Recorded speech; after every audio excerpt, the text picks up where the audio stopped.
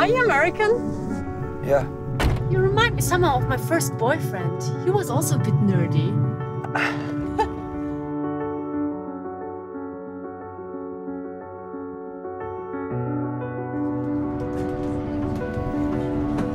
Oh, hello, darling. Hello. What's this? So this is how it all begins.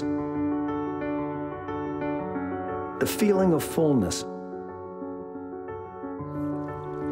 of humanity, that love is possible, that everything is possible. Where are you from? All over, really. Came to Berlin for a little bit of a rebirth. Berlin is a city that knows a thing or two about a rebirth.